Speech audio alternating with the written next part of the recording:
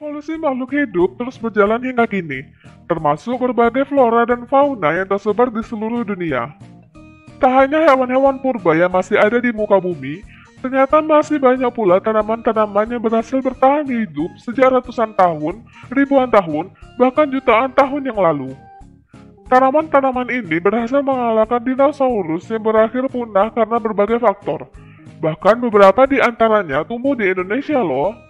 Penasaran apa saja? Berikut ini adalah 5 tanaman purba yang masih hidup hingga kini.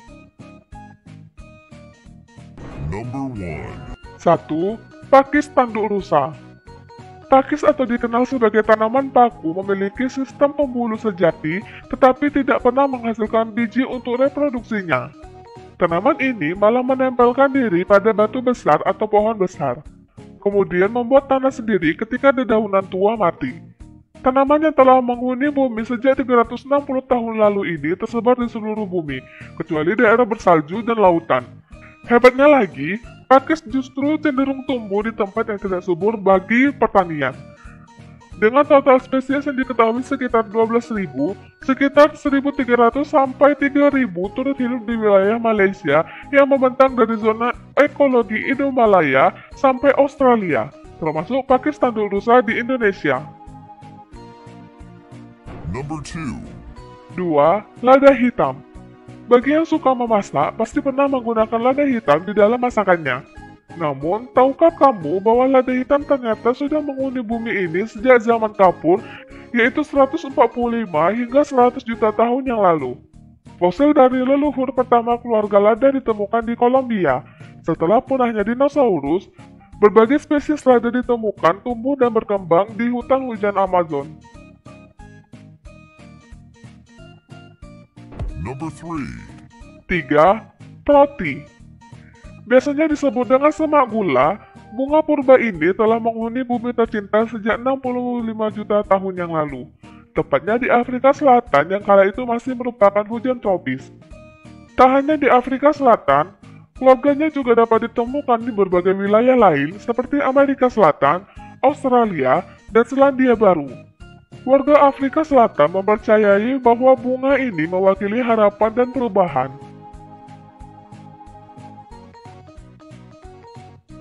Number 4. 4. Ginkgo Sering disebut sebagai fosil hidup, tanaman berbiji terbuka ini hampir punah ketika ditemukan. Namun untungnya, pihak Taman Biara Tiongkok memeliharanya dengan baik, jadi tanaman cantik ini masih hidup di bumi sampai sekarang. Fosil leluhurnya sendiri berasal dari 270 juta tahun yang lalu, satu masa dengan trilobite yang masih hidup di kala itu.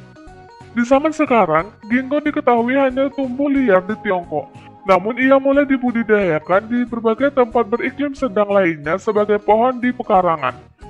Biji dari ginkgo bisa dimakan dan diolah untuk menjadi obat, Sejumlah produk suplemen mengandung ekstra bijinya yang diyakini sanggup mempertahankan daya ingat dan melancarkan aliran darah perifer.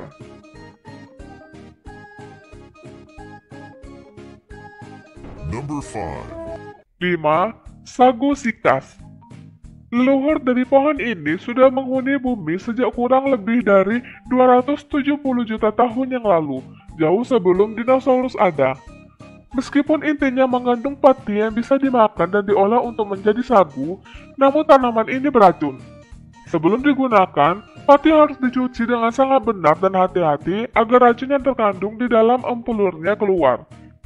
Ekstraksi pati yang bisa dimakan dari sika sagu pun membutuhkan perawatan khusus karena sifatnya yang beracun tersebut. Biji sikas tidak boleh dikonsumsi karena mengandung toksin sikasin yang sangat kuat, hingga mampu bertahan dari pencucian berulang paling kuat sekalipun. Racun tersebut dapat menyebabkan ALS, kanker prostat, Parkinson, dan karisoma hepatosululer fibrolamellar. Nah itulah dia 5 tanaman purba yang masih ada di muka bumi hingga kini.